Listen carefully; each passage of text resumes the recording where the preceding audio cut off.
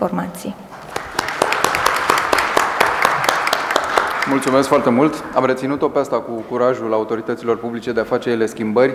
Lansez așa doar o întrebare în uh, eter, dacă nu cumva curajul ăsta depinde și de impulsul pe care uh, îl primesc din jur.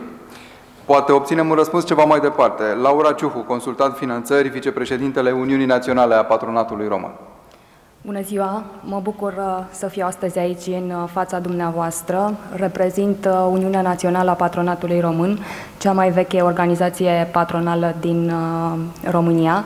Felicit organizatorii pentru acest eveniment și sper că la sfârșitul acestei conferințe să se tragă niște concluzii care să ajute procesul de fluidizare al fondurilor europene.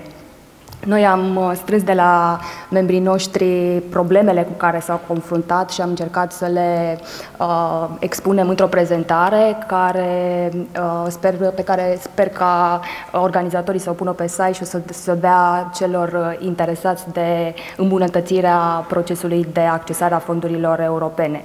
Evident că cei din autoritatea publică și cei responsabili tot timpul o să zic că este ușor să critici dacă vrei să ajuți, trebuie să vii în teren cu soluții. Noi, cei de la Uniunea Națională a Patronatului Român, spunem că vrem să venim cu soluții, vrem să fim niște parteneri pentru autorități în îmbunătățirea uh, sistemului. Dar, din păcate, nimeni nu ne bagă în seamă. De câte ori am făcut adrese către autorități, de câte ori am fost în vizite la ministere, totul a rămas la stadiu de vorbe.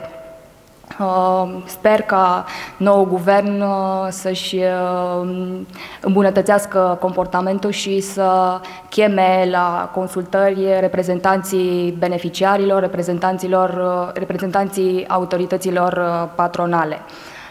În mediul privat, cel mai important instrument de management pentru orice manager este dat de feedback-ul de la clienți, care îl ajută să-și îmbunătățească performanța economică în cadrul companiei pe care o administrează.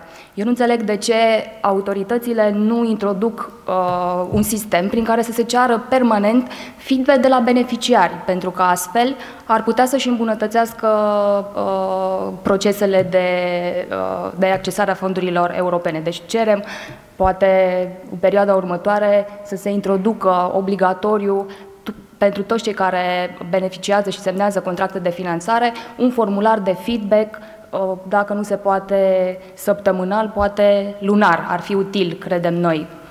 În același timp, în mediul privat, uh, salariații sunt plătiți pentru rezultate, nu pentru muncă.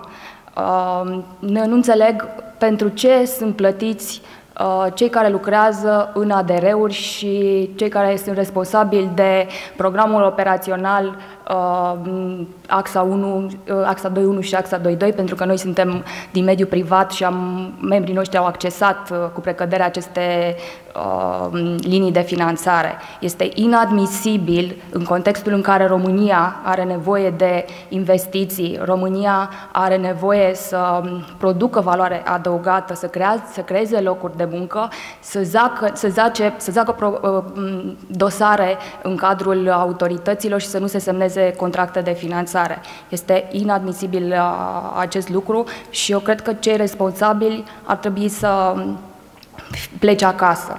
Um, exact cum susțin în totalitate ceea ce a spus colegul meu Marian Dobrilă, um, se pare că suntem uh, o, o țară fără stăpân. Nu există nimeni care să-și asume responsabilitatea lucrurilor și de aici pleacă toate problemele. Uh, sunt în acord cu ceea ce au spus antevorbitorii mei în ceea ce privește problemele uh, care au existat și uh, suntem pregătiți să venim cu soluții dacă există cineva care să-și asume îmbunătățirea acestui sistem. Aș vrea să puneți pe site, la sfârșitul acestei uh, conferințe, următoarea întrebare. Există cineva din Guvernul României, din cadrul autorității publice care să-și asume că în maxim trei luni de zile se termină contractarea pe axa uh, pe port 2.1 și 2.2? Aceasta este o întrebare la care noi, cei din mediul privat, așteptăm un răspuns imediat. Vă mulțumesc!